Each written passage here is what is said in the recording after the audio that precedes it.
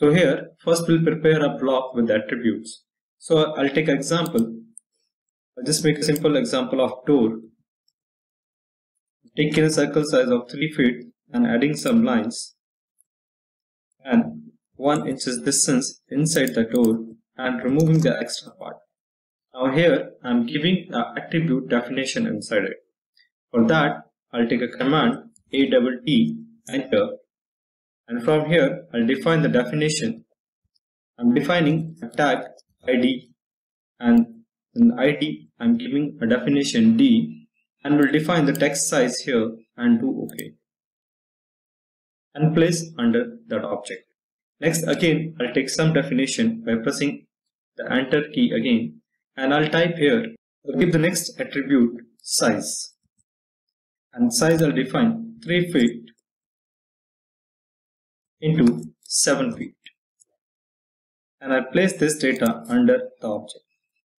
Now we'll convert this all into a single block.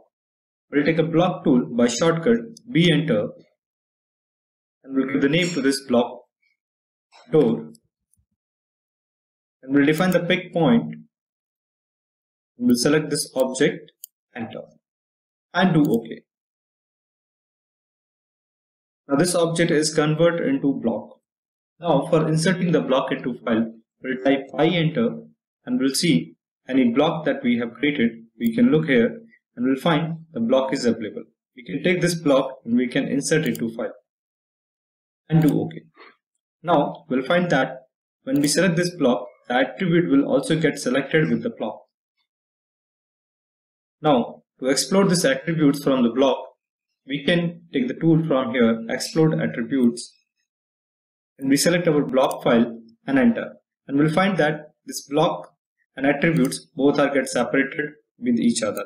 Now, after editing, you can also edit the text here. You want to edit the text, you can double click on the text and you can change it as well.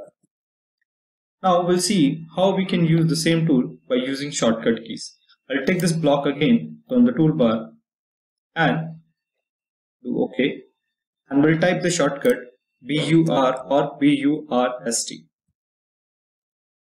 and we'll select that block object and enter and we'll find that this is again get exploded. So this is how we can use explode attribute tool.